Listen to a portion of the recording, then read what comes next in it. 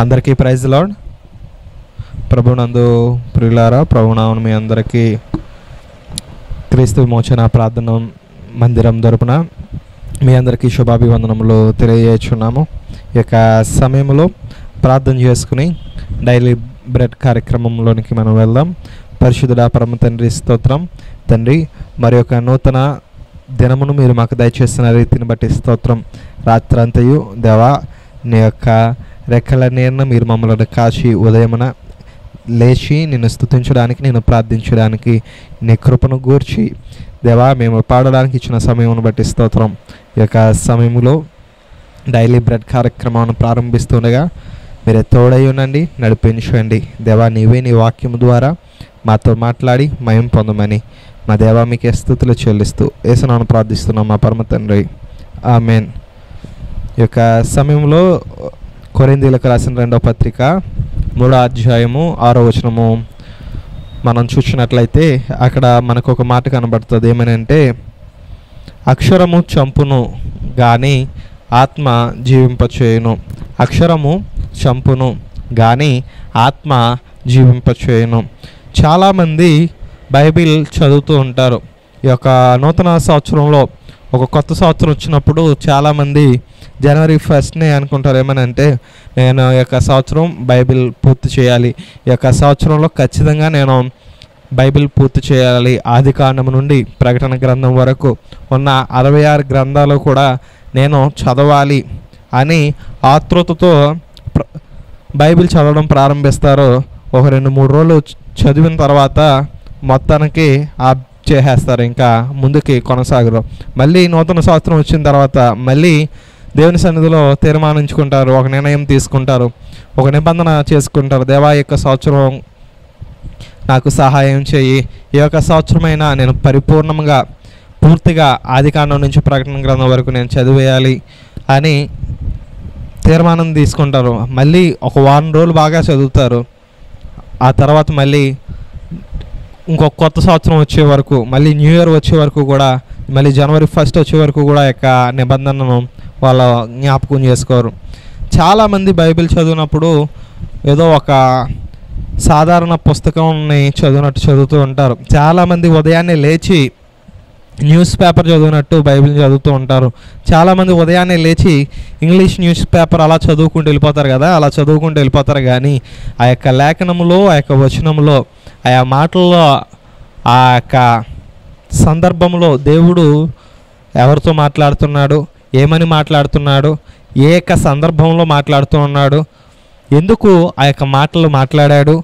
అసలు అక్కడ జరుగుతున్న సంభాషణ ఎవరెవరికి జరుగుతుంది అన్న విషయాన్ని వాళ్ళు గ్రహించరు. ఏదో తీసామలే ఏదో చదివామలే అన్నట్టుగా బైబిల్ గ్రంథాన్ని చదువుతూ ఉంటారు.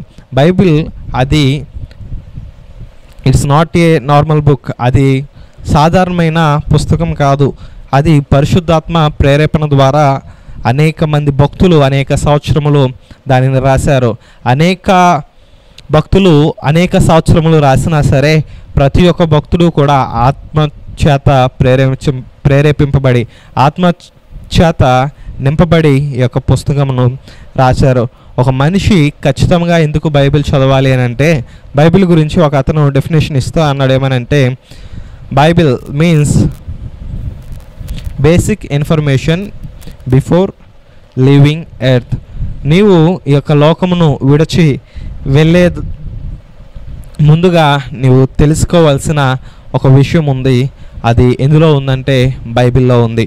నీవు ఈ యొక్క లోకంలోనికి పరదేశి వలె వచ్చావు మళ్ళీ యొక్క లోకము నుండి పరదేశిగా నీవు ఈ యొక్క లోకంలో నుండి వెళ్ళిపోతావు. ఈ యొక్క లోకంలోనికి నీవు దిగంబరిగా వచ్చావు యొక్క లోకంలో నుండి దిగంబరిగా వెళ్ళిపోతావు కానీ శాశ్వత రాజ్యము ఒకటి ఉంది అని తెలియజేసే ఏకైక పుస్తకం ఏమిటంటే బైబిల్. ప్రపంచంలో అనేక భాషలలో మనకి అందుబాటులో ఉన్న పుస్తకము బైబిల్. అంతేకాదు అనేక అనేకముగా ఎక్కువగా ప్రింట్ అవుతున్న బుక్ కూడా బైబిలే. యొక్క ప్రపంచంలో ఎక్కువగా ప్రింట్ అవుతున్న బుక్ బైబిల్ ఎక్కువ లాంగ్వేజెస్లో మనకి అవైలబిలిటీలో ఉన్న బుక్ ఏమిటంటే అది కేవలం హోలీ బైబిల్.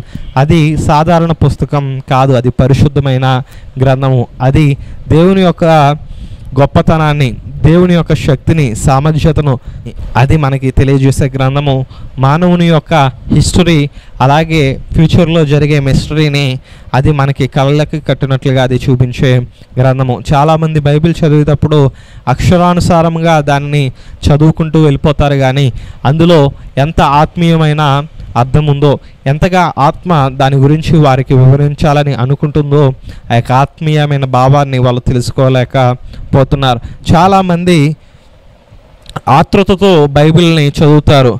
అక్షరానుసారంగా బైబిల్ని చదువుతారు కానీ బైబిల్ నేను చదువుతున్నాను దేవుడు నా గురించి ఈ యొక్క మాట మాట్లాడతాడు. చా బైబిల్ నేను చదువుతున్నాను దేవుడు నేరుగా నాతో మాట్లాడాలి. నేరుగా ఆయన వాక్యంతో నా నాతో మాట్లాడాలి అని ఆ యొక్క ఉద్దేశంతో చదివేవారు చాలా కొంతమందే. బైబిల్ ఏదో చదివాములే. బైబిల్ ఏదో చదివేశాములే అని అనుకుంటున్నారు కానీ ఆ- అందులో ఉన్న ఆత్మీయమైన సత్యాలని గ్రహించలేని వ్యక్తులుగా చాలామంది ఉంటున్నారు. కొంతమంది నేను సంవత్సరంలో అవగొట్టానంటే ఇంకొక కొంతమంది నేను ఆరు నెలల్లోనే నా- బైబిల్ని అవగొట్టాను ఇంకొక మంది నేను మూడు నెలల్లోనే నేను బైబిల్ని అవగొట్టానంటే ఇంకొకరు నేను ఒక నెలలోనే నా యొక్క బైబిల్ని అవగొట్టాను అని వాళ్ళ గొప్పలు వాళ్ళు చెప్పుకుంటూ ఉన్నారు. కొంతమంది అయితే నేను వారం రోజుల్లో బైబిల్ అవగొట్టాను అని వాళ్ళ గొప్పతనం వాళ్ళు చెప్పుకుంటే కొంతమంది నేను నాలుగు రోజుల్లోనే నేను నా యొక్క బైబిల్ని నేను అరవై ఆరు గ్రంథాలు ఉన్న బైబిల్ని నేను చదివాను అని గొప్పగా చెప్పుకుంటారు కానీ వాళ్ళు చదివిన దాంట్లో నుంచి ఏమి గ్రహించారు అన్నది వాళ్ళు చెప్పరు. ఎందుకంటే వాళ్ళు ఏదో న్యూస్ పేపర్ తిరిగేసి చదివినట్టు చదువుతారు తప్ప అందులో ఉన్న ఆత్మీయమైన సత్యాలను వాళ్ళు గ్రహించరు. వాళ్ళ అక్షరానుసారముగా చదువుతూ ఉన్నారు తప్ప అందులో ఆత్మ బోధించే పాఠములను వాళ్ళు నేర్చుకోరు. మనం ఎప్పుడు బైబిల్ చదివినా దానిని అక్షరానుసారంగా చదవకూడదు కానీ ఆత్మీయంగా దానిని చదవాలి. ఆత్మీయ సహాయముతో దానిని చదవాలి. ప్రార్థనాపూర్వకంగా దేవుని యొక్క సహాయమును మనం అడుగుతూ ఆయన యొక్క ఆత్మీయ సహాయముని మనం ముందుగా కోరుతూ బైబిల్ని మనం ధ్యానం చేయాలి. బైబిల్ని ఎప్పటి వరకు మనం చదవాలి? ఒక ఆయన అన్నాడు నేను బైబిల్ని ఎప్పుడు చదివినట్టు అని అంటే నేను ఎప్పుడైతే దేవుడు నాతో నేరుగా మాట్లాడాడు అని నేను అనుభ అనుభూతి పొందానో.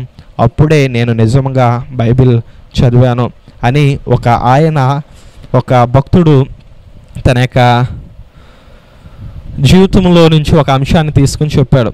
ఏమిటంటే నేను బైబిల్ ఎప్పుడు చదివాను అని అంటే ఎప్పుడు చదివానని నాకు అనిపిస్తుంది. నేను బైబిల్ చదివాను అనే అనుభూతి నాకు ఎప్పుడు కలుగుతుంది అంటే నేరుగా దేవుడు నాతో సంభాషిస్తున్నాడు దేవుడు నాతో మాట్లాడుతున్నాడు ఆయన యొక్క చిత్తాన్ని ఆయన యొక్క ప్రణాళికని ఆయన యొక్క నా పట్ల ఆయన కలిగి ఉన్న తలంపులను ఆయన నేరుగా నాతో చెబుతున్నాడు అనే అనుభూతిని నేను పొందినప్పుడే అనే యొక్క అనుభవమును నేను పొందినప్పుడే నేను నిజంగా బైబిల్ చదివాను అనే అనుభూతిని నేను పొందుతూ ఉన్నాను. ఈనాడు చాలామంది బైబిల్ చదువుతున్నారు కానీ దాని అక్షరానుసారంగా చదువుతున్నారు. కానీ అక్షరము చంపును ఆత్మ జీవింపచేయను. మన దేవుడు ఆత్మ గనుక ఆయన ఆత్మ ద్వారా కార్యమును జరిగించే దేవుడు. అంతేకాదు ఆయన ఆత్మ ద్వారా మనకి బోధించే దేవుడు. మనం ఎప్పుడు బైబిల్ చదివినా మనము దేవుని యొక్క ఆత్మీయ సహాయాన్ని మనం కోరుకోవాలి. అంతేకాదు అది మనము ఆత్మీయంగా అర్థం చేసుకోవాలి. మనం ఎలా ఉండాలో ఎలా నడుచుకోవాలో ఎలాగా మనము ప్రవర్తించాలో ఎలాగ ఈ యొక్క లోకంలో మనకు ముందుకు మనం కొనసాగాలో ఎలా మన యొక్క జీవితంలో వచ్చే అడ్డులను ఆటంకములను మనం దాటి ముందరకు వెళ్ళాలో అది మనకి తెలియజేస్తుంది. అంతేకాకుండా మన ఆత్మీయ జీవితంలో మనం ఎలాగ ఉండాలో ఎలా ముందుకు కొనసాగాలో అన్నది మనకి తెలియజేస్తుంది. కాబట్టి ఎప్పుడు మనం బైబిల్ చదివినా అక్షరానుసారంగా కాదు కానీ ఆత్మానుసారంగా చదివేవారిగా ఉందాం. ఎందుకంటే అక్షరము చంపును కానీ ఆత్మ జీవింప చేయును. కాబట్టి ఎప్పుడు మనం బైబిల్ చదివినా దాన్ని ఆత్మీయంగా మనం అర్థం చేసుకున్నట్లయితే శారీరకంగా కాదు కానీ ఆత్మీయ పరంగా మనం దానిని అర్థం చేసుకుని దాన్ని మనం గ్రహించి దేవుడు నాతో మాట్లాడాడు. నేరుగా ఆయన నాకు కావలసిన యొక్క అక్కరను గూర్చి నేను ఉన్న స్థితిని గురించి ఆయన నాతో మాట్లాడాడు అనే అనుభూతిని మనం పొందే వరకు మనం ఆయన వాక్యాలను మనం చదివే వారిగా ఉండాలి. ఈ యొక్క సమయంలో ప్రార్థన చేసుకుందాం. పరిశుద్ధుడ పరమ తండ్రి నీకు స్థుతులు చెల్లిస్తూ ఉన్నాం. దేవా రీతిగా నీ యొక్క వాక్యం ద్వారా మీరు మాతో మాట్లాడిన రీతిని బట్టి స్థుతులు స్తోత్రములు చెల్లిస్తూ ఉన్నాం. తండ్రి మేము ఎప్పుడు నీ యొక్క వాక్యాన్ని చదివినా అది ఆత్మీయంగా మేము గ్రహించే కృపను మాకు దయచేయమని ప్రార్థిస్తున్నాం. అక్షరానుసారంగా కాదు కానీ ఆత్మానుసారంగా మేము దానిని చదివే కృప దయచేయండి. దేవా ఏదో న్యూస్ పేపర్ చదివినట్టు దాన్ని చదవడం కాదు కానీ దేవా నీవే నీ యొక్క వాక్యము ద్వారా మాతో మాట్లాడుతున్నావని దేవా వినయముతో భయముతో దానిని మేము స్వీకరించే కృపను మీరు మాకు దయచేయమని ప్రార్థిస్తూ ఉన్నాం. మరి ముఖ్యంగా దేవా ఏదో చదివేశాంలే అని చదవడం కాదు కానీ దేవా దానిని గ్రహించి మేము దానిని ప్రకారం అనుసరించే కృప మీరు మాకు దయచేయమని మరి ముఖ్యంగా ఈ యొక్క సమయంలో ఇక వాక్యమైన ప్రతి ఒక్కరిని దీవించండి ఆశీర్వదించండి. ఇక దినమంతయు మీరే తోడయ్యి నడిపించి మహిమ ఘనత ప్రభావం మీరు పొందమని యేసునాను ప్రార్థిస్తున్నాం మా పరమ తండ్రి. ఆమెన్. అందరికీ ప్రైజ్ లాడ్.